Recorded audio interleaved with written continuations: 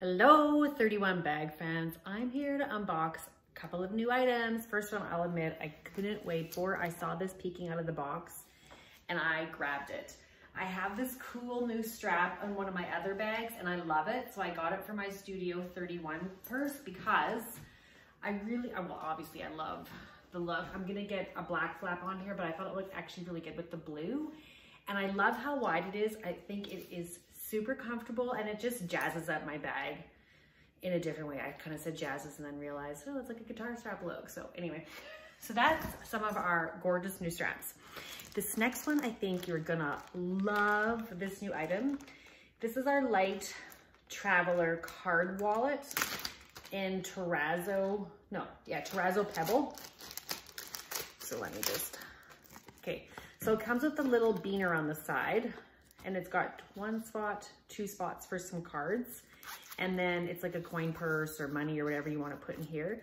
So uh, this actually could be pretty good for the summertime. Maybe you just want to grab a couple of your debit card, your driver's license, put some money in there, clip it to your bag or something so you don't lose it if you're going on some hikes or um, just out and about. If I know a lot of people actually don't really carry much of a wallet, so this would be a really good option for you just for a few cards.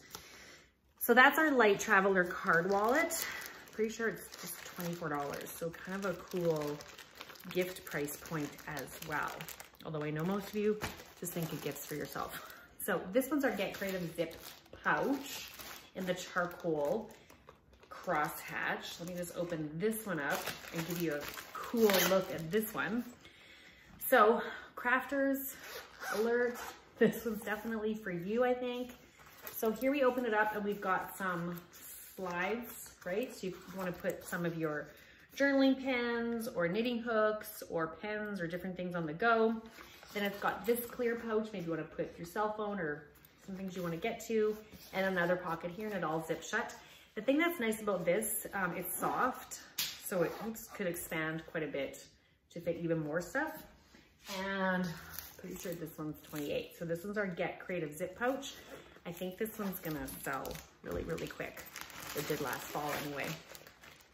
And then my last new item that I just got that I wanted to show you is our new um, garden sketch pattern. This one's in our large utility tote. So it's just a really nice, simple black and white.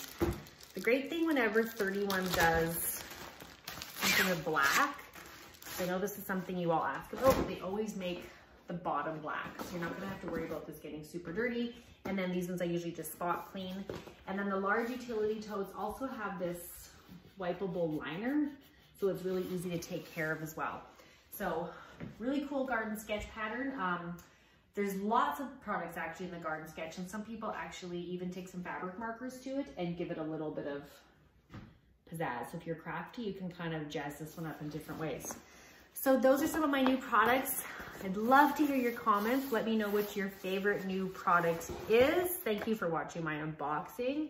If you love it, subscribe to my page down below. Share my page, Jeanette Zen Bag Den, um, either here on Facebook or, sorry, here on YouTube or catch me over on Facebook. And like, ring the bell, share away, and uh, message me if you have